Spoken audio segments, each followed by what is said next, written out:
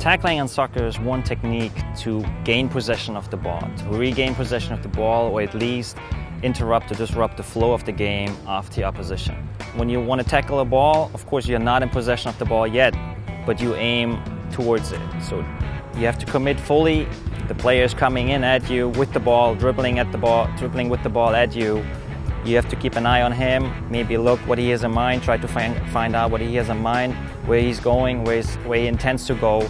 And after you make the decision to go at the ball, go hard and commit your entire body to the tackling and, and follow through with it.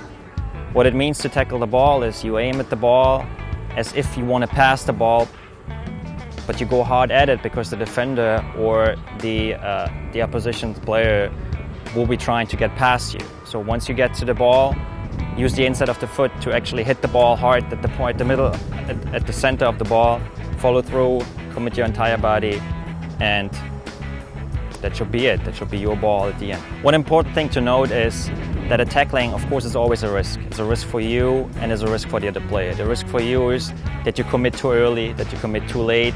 If you miss the player, you run into a counter attack. If you miss the ball, there's a risk that you hurt the other player. To make sure that that does not happen, really keep an eye on the ball, commit hard, but don't be unfair.